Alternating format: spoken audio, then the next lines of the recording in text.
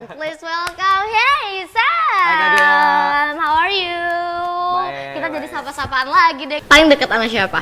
Paling deket sih kalau cowok sama Karica. Oh gitu. Karena Karica udah kayak kakak aku dari dulu sekamar gitu dan Oke. cerita semua tuh ke dia gitu. Eh, kalau cewek siapa?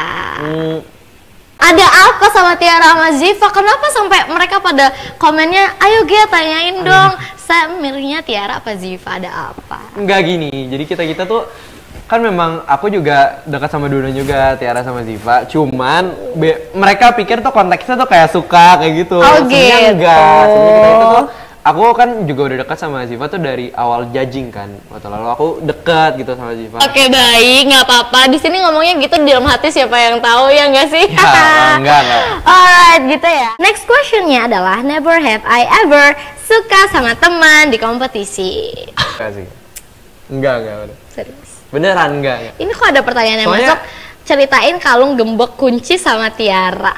Oh enggak, waktu lalu tuh? kebetulan si Tiara tuh beli kunci gembok, Oke, beli kalung, kalung gembok, gembok. sekalian kayak eh, sama kalung-kalung lainnya gitu ada kalung warna gambar bulan, gambar bintang gitu. Jadi waktu lalu eh, mungkin pas dia lagi pakai gembok gitu, Oh, aku udah ngerasa kayak ya udah mereka tuh udah jadi keluarga aku kan, Hmm. kayak aneh gitu nggak sih kalau misalnya ada yang kayak suka-suka sama keluarga gitu. Jadi sasa aja kok nggak aneh-aneh kan keluarga keluarga ketemu gede. ya. Alright, tapi ada pertanyaan nih kalau di idol yang sekarang nggak ada, gimana kalau di idol junior? Ada nggak yang pernah kamu sukain? jujur waktu El Junior pernah. Uh, dia ngaku. Cuman- langsung disebut merek tuh Sharon ya, Baila. Ziva nangis kejer ya pas Sam keluar. Wow, gimana tuh?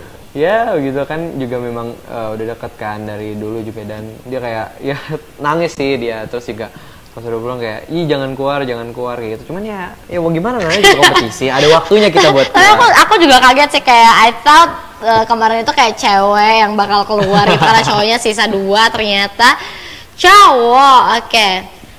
Ah, Sam.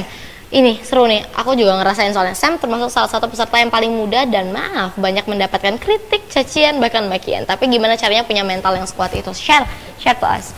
yang aku ngerasa gini aku nggak bisa ngebuat semua orang untuk suka sama aku gitu jadi aku harus cintai diri aku sendiri dulu gitu dan karena aku yakin bahwa ketika aku mencintai diri aku sendiri banyak orang-orang yang suka sama aku karena apa yang karena aku juga udah cintai diri aku sendiri jadi eh, aku ngerasa bahwa aku harus ngebangin mereka yang yang sayang sama aku jadi aku fokusnya ke mereka yang sayang sama aku aja Oke, jadi dari Sam adalah kesimpulannya love yourself, Love yourself. first ya. Cintai Wow, diri such kamu a great sendiri. advice.